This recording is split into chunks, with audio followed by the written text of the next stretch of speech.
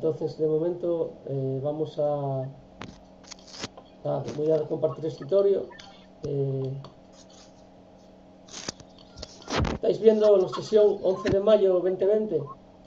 ¿Estáis viendo? ¿Qué estáis viendo? Eh, a ti. A ti. ¿A mío? Sí. Que tengo... Vale.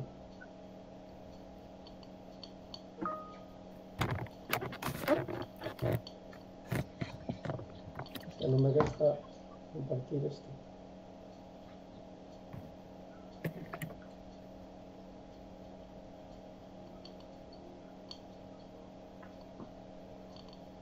Me deja compartir.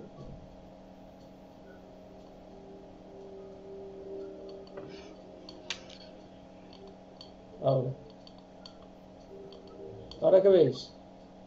Ahora sí, ahora sí. Ah, vale, Ahora vale, es que, no me, es que no me dejaba, había dado y no me, no me dejaba el ratón, igual el ratón. A ver, eh, empezáis vosotros a hablar un poquitín de esto y luego hacemos la, la sesión, ¿vale? A ver, ¿qué buscasteis? ¿Buscasteis algo? Sí. A ver, pues empezar a hablar lo que queráis, podéis hablar lo que, lo que queráis vosotros, y, pero sin ningún miedo a meter la pata, porque oye, aquí nadie, nadie va a meter la pata. Entonces, a ver, vais hablando. Venga, a ver, Rebe, por ejemplo, que dijiste sí, venga, empieza. Sí, yo busqué lo que era y les ventajas y algún ejemplo. Bueno, pues vete contando algo y luego vais hablando cada uno. Venga, empieza. A ver, eh, es el proceso de integración e independencia de las actividades comerciales, productivas y financieras entre naciones. Venga, sigue. Se inició en el siglo XIX y tuvo su auge en el XX. Con los desarrollos también influyó la, redu- la reducción de los costes de distribución de los productos para su comercialización, la creación de políticas gubernamentales y organizaciones comerciales. Muy bien, ¿algo más? Sí, las ventajas son eh, la apertura de mercado libre y comercio, el desarrollo comercial, el auge investigativo y el surgimiento de la pluralidad étnica. Muy bien, ¿qué más? ¿Algo más? Y algún ejemplo, el Tratado libre, libre- de Libre Comercio, los nuevos modelos de negocio y las redes sociales e interconectividad. Muy bien, ¿algo más? No, Venga, a ver, muy bien. Eh, alguien, a ver, siguiente, venga. Por ejemplo, Javi. A ver, venga, vale, pues venga, busca, explica. que está implicada la mayor parte de los países del mundo, el grado de movilidad de la mano de obra es menor, ujú. Eh, Hay perdón, una espera, espera, espera. canalización. Grado de movilidad de mano de obra será mayor. Ah, pues no sé, yo busqué Claro, hombre, yo mayor. creo, Entonces, eh. espera, atiende, explica. Eh, mira, eh, si yo mayor, ya que tú pues estás, mm, trabajas aquí o vives aquí, pero como la globalización te permite marchar a trabajar a Australia, pues puedes marchar a trabajar a Australia. ¿Te das cuenta? Eso igual, o, Sí, sí, o sí, te equivocaste tú, o, o igual estaba mal puesta la fuente donde lo, donde lo miraste. Pero daos cuenta que cuando se abren fronteras, cuando se produce este- esta apertura de, de todo, pues eh, hoy en día pues la gente puede estar trabajando aquí y puede, puede- puede marchar a trabajar a Australia, Nueva Zelanda o donde sea. Venga, sigue. Hay una distinta canalización de los recursos financieros,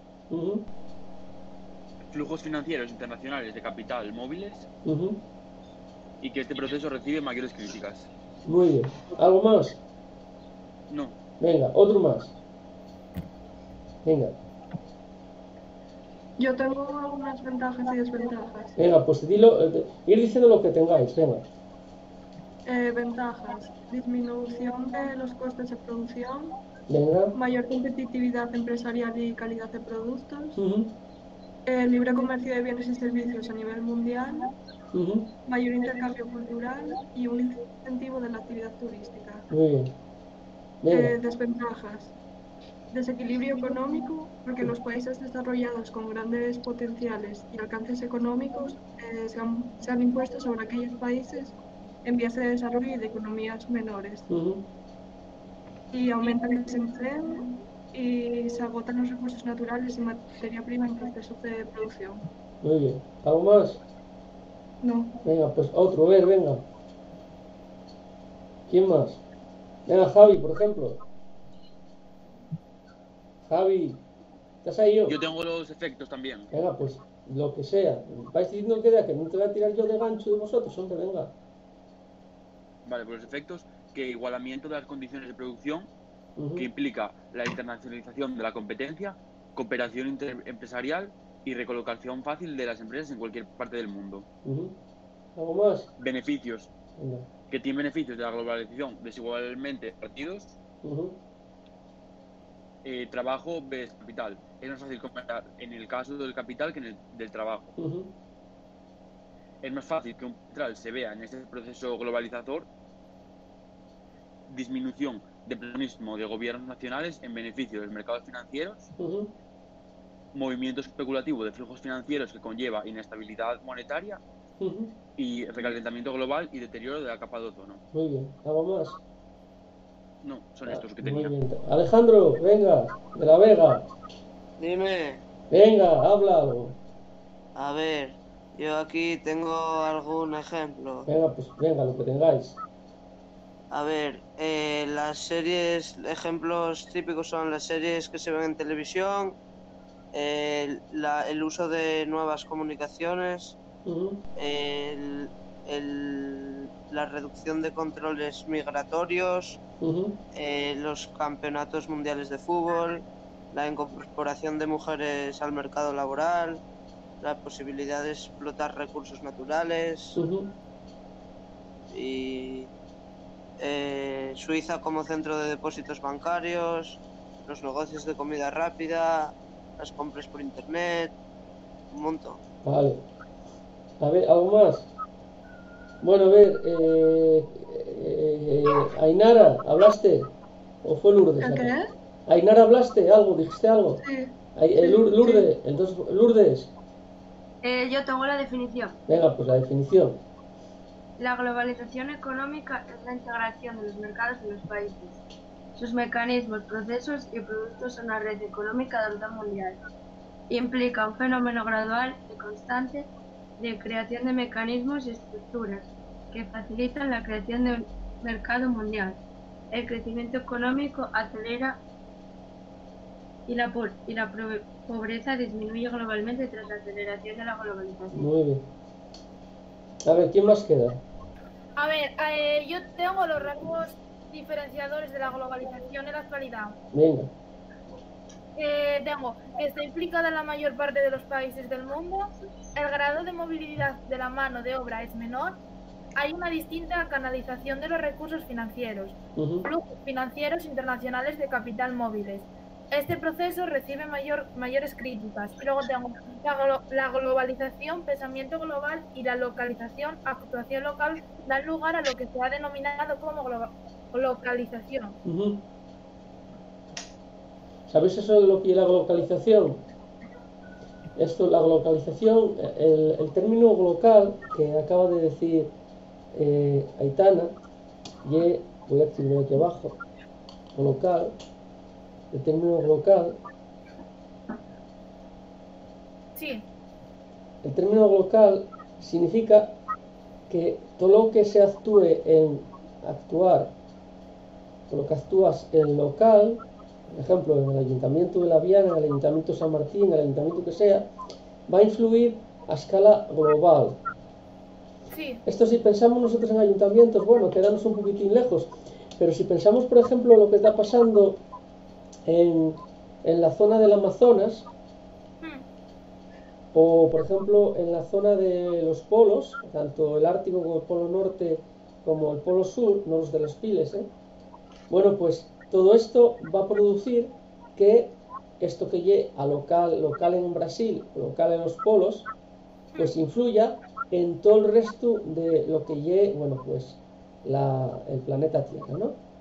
Eso va a influir todo y por eso está, como decía, no sé, algún, antes alguien, lo del efecto invernadero, la capa de, de ozono, eh, toda, esta, toda esta mutación y todo esto que está pasando, entre ello, bueno, pues eh, esto que estamos sufriendo hoy en día del COVID-19, ¿no?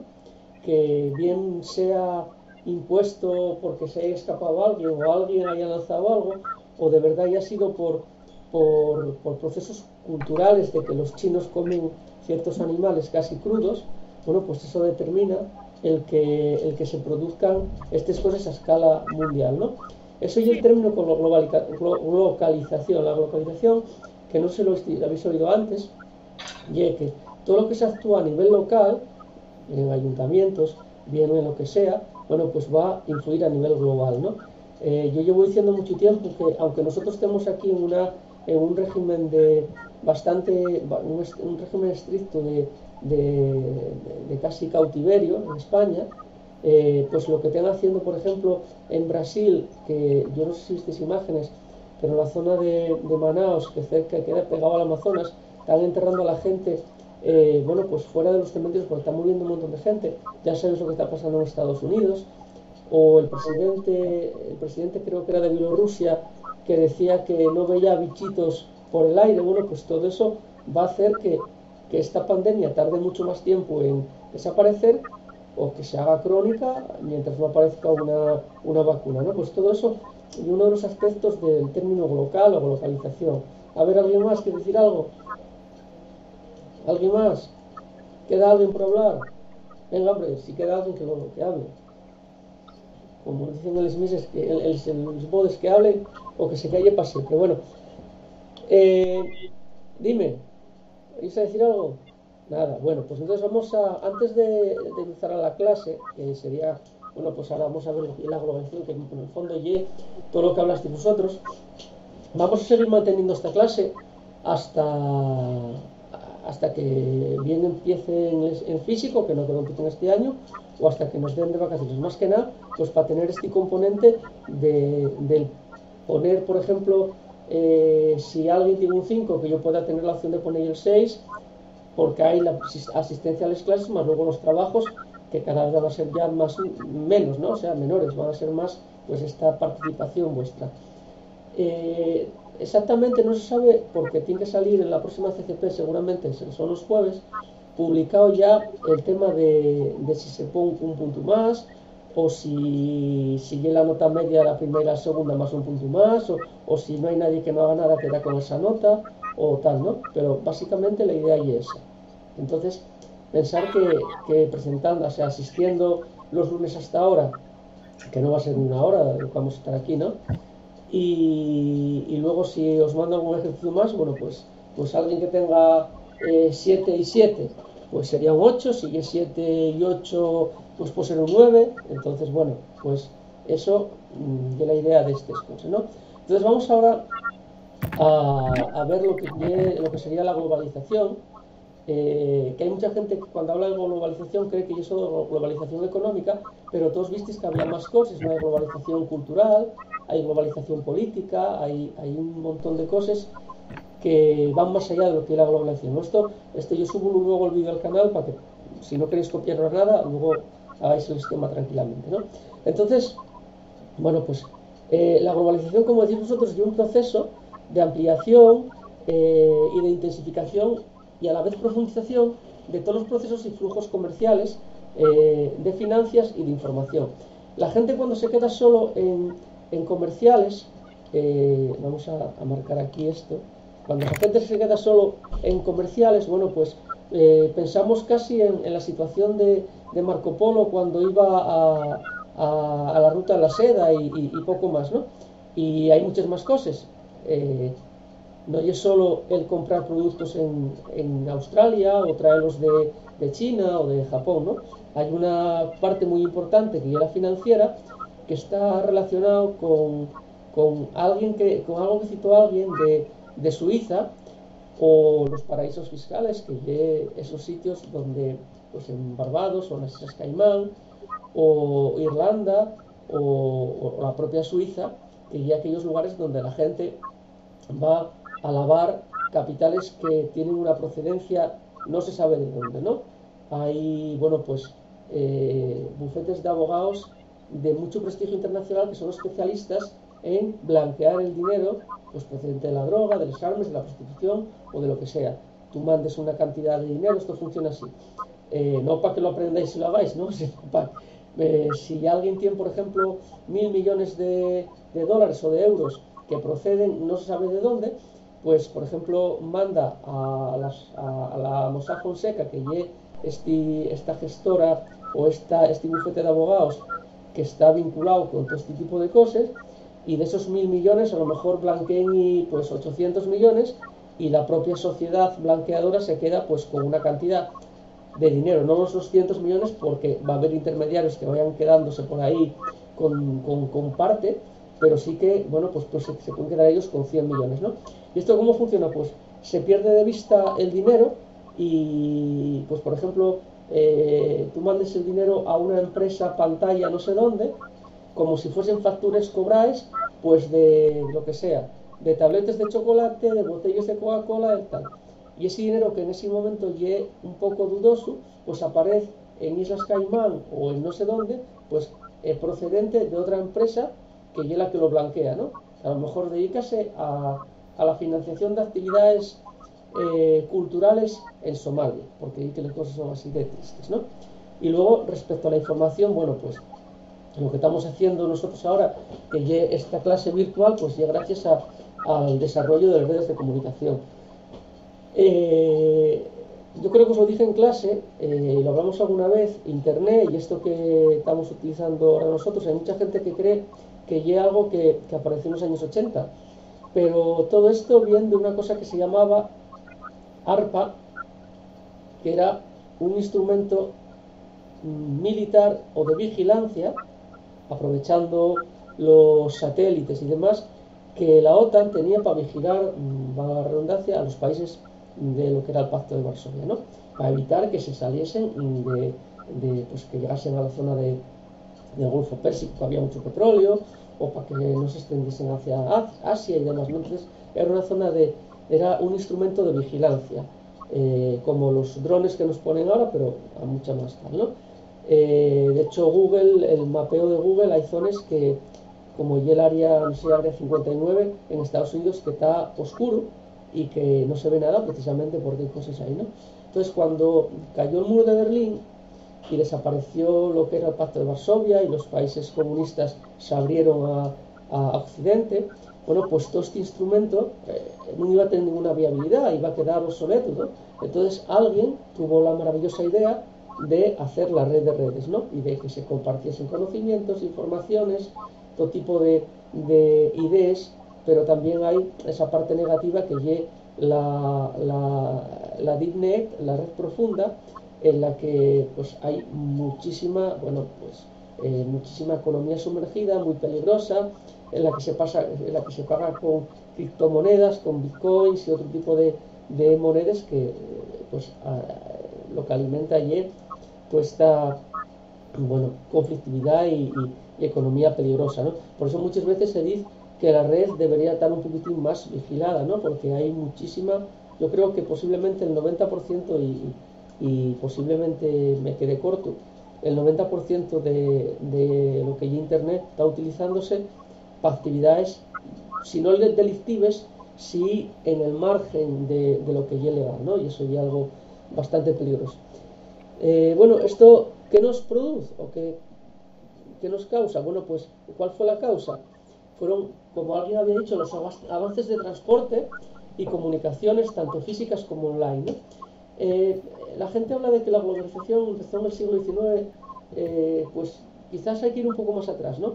Porque como os decía, lo de, lo de Marco Polo en la Edad Media, pues era los inicios de la globalización, claro, de llegar desde Italia a Zipango o Katai, que era en China o, Japón, pues en vez de tardar eh, en avión, pues, no sé, seis horas, pues igual tardaba en seis o siete meses, ¿no? Pero eso era un inicio de, globalización.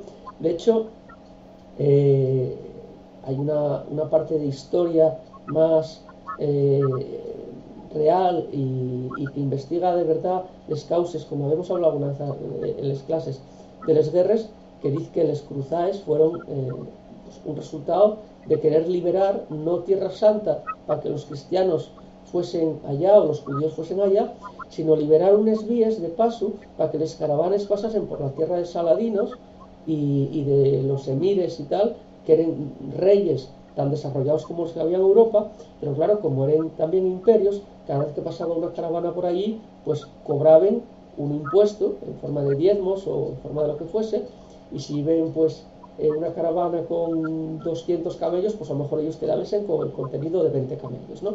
Entonces, claro, eh, cuando llegaban a, a, donde fuese, a la India o a China o, o a donde fuese, esas caravanas que habían salido, pues de marchar a lo mejor con con mil toneladas de productos, pues igual llegaban con 200, ¿no?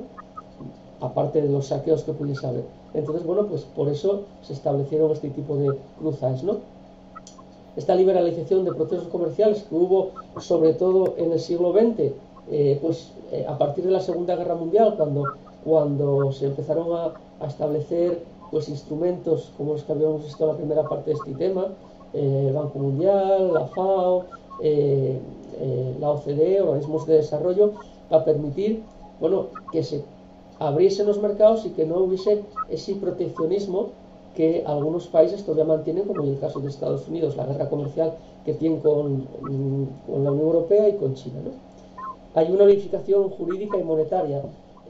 vosotros no habéis nacido y casi no habían nacido vuestros padres, pero, pero por ejemplo en los años 80 y los años 70, cuando un criminal español escapaba a algún país, pues si no había el tratado de extradición, que había tratados de extradición con muy pocos países, podían quedarse allá viviendo toda la vida, ¿no? De hecho era muy, muy corriente que marchasen a Brasil y a lo mejor los cazasen pues eh, porque habían hecho algún delito allá o por cualquier historia, pero era muy normal que marchasen y que no había forma de, de traerlos. ¿no? Y unificación monetaria, bueno, pues ya sabéis en nuestro caso la, la moneda única, el euro, y, y, luego una cosa que veremos al final del tema, que yo lo que se llamen los tipos de cambio entre monedas, ¿no? La paridad entre monedas y una, y una oscilación que permite que haya cierto equilibrio entre el euro y el dólar, entre el euro y el yen, y que si por ejemplo ese equilibrio se rompe un poquitín, pues que los mm, mecanismos eh, monetarios de cada país o de cada entorno actúen para evitar que la moneda se salga de esa banda de oscilación y, les, y el mercado internacional, las exportaciones e importaciones se, se nos vayan eh, al garete, ¿no? Porque claro, si una moneda sube, se, se aprecia mucho, eh, a nosotros cuesta nos menos comprar fuera, pero claro, a los que compren cuesta ellos más pagar algo porque mi moneda se, se hizo más cara, ¿no? ¿Qué dimensiones? Bueno, pues lo que habéis hablado, ¿no? Habíamos hablado de una dimensión comercial que está relacionada solo con, bueno, solo con el comercio internacional. Pero cuando nos quedamos ahí, ya os decía antes, que ya quedase en una parte muy pequeña de lo que es la globalización, ¿no? Hay la globalización financiera que habéis visto vosotros también, que está relacionado con el movimiento de capitales internacionales. Ya no vamos a hablar del tema de de, de les offshore o, o, del blanqueo de dinero, pero sí que es verdad que los grandes capitales internacionales van a aquellas zonas donde hay una rentabilidad mayor. El problema, por ejemplo, que hay entre el Euribor y, el, tipo de interés americano y que el Euribor está en negativo, está por debajo de cero, para la gente que pide créditos y préstamos y muy bueno, porque te van a aplicar un crédito muy bajo, pero para lo que son los capitales internacionales, y muy malo. Porque si, por ejemplo, el Euribor está en menos 0,30 y algo, exactamente no sé cuánto está hoy, implica que el dinero viene para acá.